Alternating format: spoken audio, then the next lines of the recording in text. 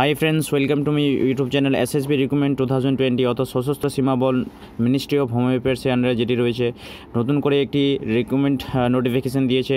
So this is very good news and এক্ষেত্রে constable নেওয়া হবে টেম্পোরারি বেসিসে এবার কতগুলো পোস্ট রয়েছে? যেমন তোমরা এখানে দেখতে পাচ্ছ, পনেরোশো একচল্লিশটি টোটাল পোস্ট রয়েছে এবং এগুলো driver lab assistant waiter cook এই সমস্ত বিভিন্ন পোস্টের জন্য। যেমন অনলাইন অ্যাপ্লিকেশন ইনভাইট করা হচ্ছে, এই কনস্টেবলের জন্য কী কী ক্রাইটেরিয়া রয়েছে, কবে থেকে করা যাবে সেটি আমি দেখিয়ে দিচ্ছি।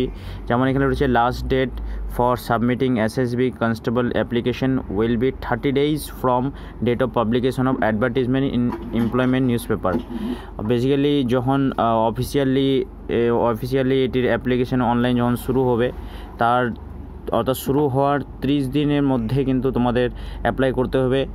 এবং এটি লাস্ট ডেট ও অর্থাৎ শুরু হওয়ার ত্রিশ দিন থাকবে।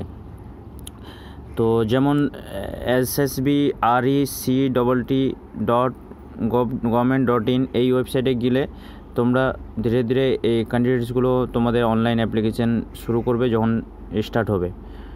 ঠিক আছে?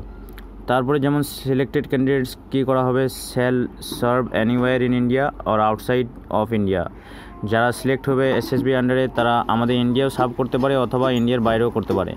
More details on SSB constable রিক্রুটমেন্টের উপরে, অর্থাৎ তোমাদের এডুকেশন কোয়ালিফিকেশান এজ লিমিট ইত্যাদি নিয়ে আমি এবার তোমাদের আলোচনা করছি। যেমন ইম্পর্টেন্ট ডেটস তো বললাম, ত্রিশ দিন থাকবে। যেদিন অনলাইন যে সাবমিশন অ্যাপ্লিকেশন স্টার্ট হবে, তার পর ত্রিশ দিন তোমাদের ডেট থাকবে, তার মধ্যে করতে হবে। আর ভ্যাকেন্সি ডিটেলস যদি দেখো, যেমন পনেরোশো বাইশটি পোস্টের মধ্যে এখানে ড্রাইভার পাঁচশো চুয়াত্তরটি রয়েছে ল্যাব অ্যাসিস্ট্যান্ট একুশ, তারপর এভাবে আয়া একটি ফিমেল ফিমেলদের জন্য পাঁচটি ভেটি ভেটেরিনারি এর একশো একষট্টিটি কার্পেন্টার তিন প্লাম্বার ওয়ান পেইন্টার টুয়েলভ তারপর টেইলার কুড়িটা, গার্ডেনার নয়টা, কবলার কভার কুড়িটা তারপর হচ্ছে কুক মেল দুশো বত্রিশ, ফিমেলের কুক ছাব্বিশটি, ওয়াশারম্যান মেল বিরানব্বইটি, ওয়াশারম্যান ফিমেল আঠাশ, বারবার মেল পঁচাত্তর, বারবার ফিমেল টুয়েলভ, সাফাইওয়ালা মেল উনানব্বইটি, সাফাইওয়ালা ফিমেল আঠাশটি, ওয়াটার ক্যারিয়ার মেল একশো একটি, water carrier female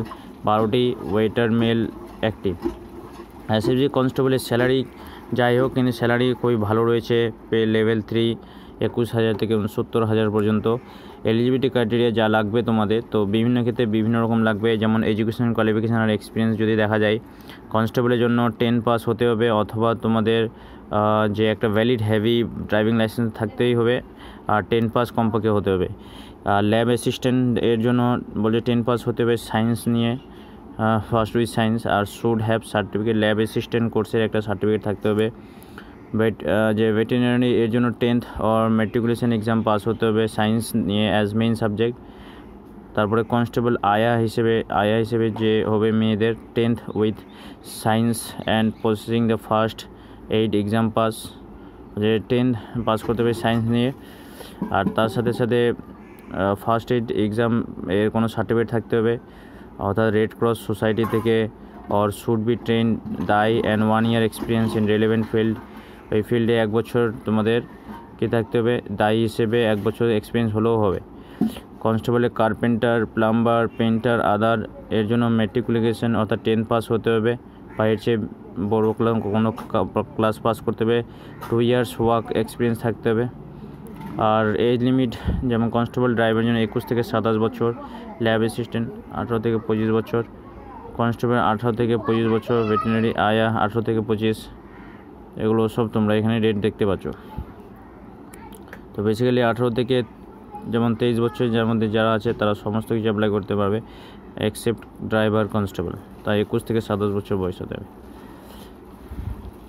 How to apply for SSB constable এর জন্য তোমাদের eligible can can apply through online mode only SSB official ওয়েবসাইটের থ্রু যেটি এখানে লেখা রয়েছে যে W W dot S S B R EC double T dot GOV dot in R application fee যদি দেখো, তাহলে general economy weaker section OBC এদের জন্য একশো টাকা করে ফি রয়েছে।